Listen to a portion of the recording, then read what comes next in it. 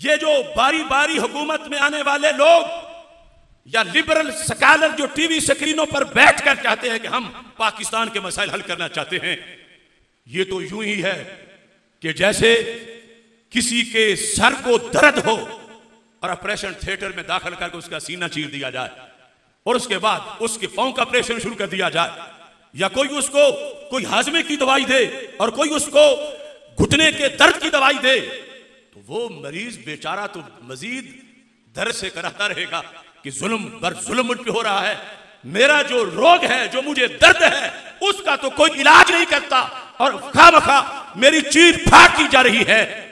तो ये सारे धुतकारे हुए लोग जो अमेरिका से सीख कर अंग्रेज़ से सीख कर पाकिस्तान को खुशहाल बनाने के दावे करते हैं, ये पाकिस्तान की बदहाली और पाकिस्तान के खात्मे की ये कुनिया है, ये सेहत नहीं, ये खुद पाकिस्तान की बीमारियाँ हैं।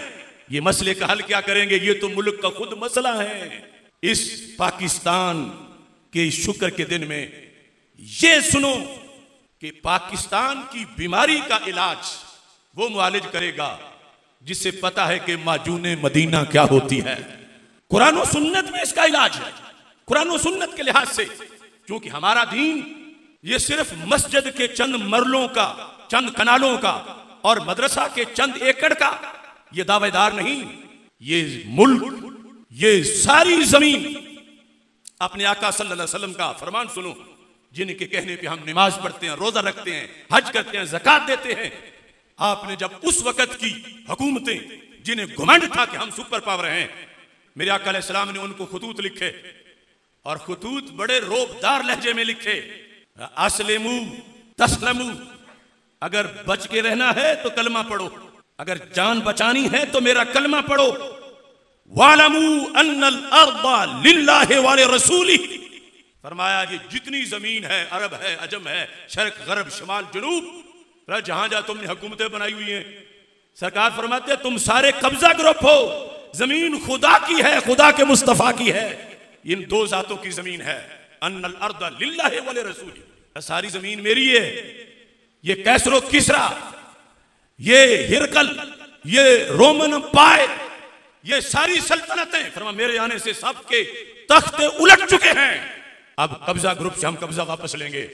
फरमा, अब मलिक मुसलमानों का वही बनेगा, जिसको मोहम्मद अरबी मोहर लगा के मलिक बनाएँगे।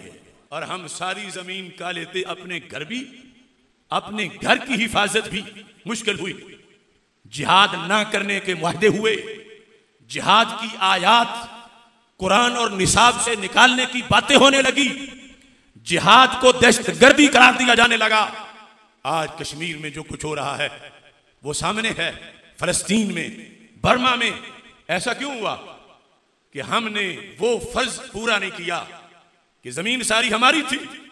मुसलमान दहशतगर्द नहीं, जिहाद दहशतगर्दी नहीं हम किसी का हक नहीं छीनते।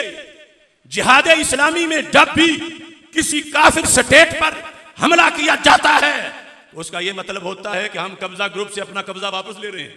वो किरायादार बन के रह सकते हैं, वो मुजारे बन के रह सकते हैं। उनके बुतों की ज़मीन नहीं, हमारे रब की ज़मीन है और हमारे नबी सलाम की ज़मीन है। या कश्मीर में अगर हमारी फौज जाती है तो ये नहीं कि हम किसी दूसरे मुल्क में कोई मुदाखरत कर रहे हैं। कुरानी नुकता नज़र से ये है कि हम तो अपनी रजिस्ट्री वाली ज़मीन ले रहे हैं। और वो सिर्फ़ कश्मीर नहीं, वो दिल्ली भी है। हमारे नाम की रजिस्ट्री व्हाइट हाउस की भी है। हमारे नाम की रजिस्ट्रेशन रूस, चाइना की सारी ज़मीन की है। हर मुल्क मुल्क के मास, के मुल्क के खुदाए मास। हर मुल्क हमारा मुल्क है, क्योंकि हमारे खुदा का मुल्क है। हमारे मुस्तफ़ा सलाम का मुल्क है। बुतों के पुजारी, वो चप्पा कहीं से ढूंढे जो बुतों ने पैदा किया हो। और बिलखसूस बर सगीर की सरजमीन की। रजिस्ट्री तो नाम ही खत्म नबूवत पे है। क्योंकि रुए ज़मीन पर सबसे पहले बड़े सगीर की ज़मीन है, जहाँ अशहदु अल्लाह और अन्न मोहम्मद वसल्लम ये आवाज़ गूंजी। अरब में भी अभी नहीं गूंजी थी, क्योंकि हज़रत आदम सलाम जब श्रीलंका में आपका नजूल हुआ पहले तो फरिश्तों की अंजमन में दिल मसरूर था। ज़मीन पे आए तो बड़ी उदासी थी, परदेसी का माहौल था कि रब यहाँ कोई मुझे तस्वीर कोई तकबीर, कोई सदा सुजाई नहीं दे रही जो करोड़ों फरिश्तों की आवाज़ें में सुनता था। तो रबेजुल जलाल ने जिबरील को भेजा। ये हमारे आका इस्लाम की हदीस में है। जिबरील आए, ज़मीन पर पहले बचने वाले इंसान का दिल लगाने के लिए और दिल लगाने के लिए जो अजान गूंजी, वो थी जो रोज़ाना पाँच टाइम हमारी मसाजिद से गूंजती है। क्या तुक है यहाँ सनम खानों का? क्या लगते हैं हिंद की ज़मीन के पंडित? और क्या ताल्लुक है मोदी जैसे मूद पीने वालों का इस ज़मीन के साथ? ये हमारे पास रजिस्ट्री है बड़े शरीर की ज़मीन की। इस पर उस वक्त तोहीद का नारा गूंजा। जब अभी रुए ज़मीन में कहीं और नहीं गूंजा था, और उस वक्त रिसालत मुस्तफ़ा की आवाज़ गूंजी, जब अभी और कहीं नहीं गूंजी थी, और उसी हदीस में है कि ये उस दिन जबरील सलाम ने आदम को बताया कि ये जिनका नाम ले रहे हो, ये तुम्हारी औलाद में से वो हैं जिनको रब ने आखिरी नबी बनाया है।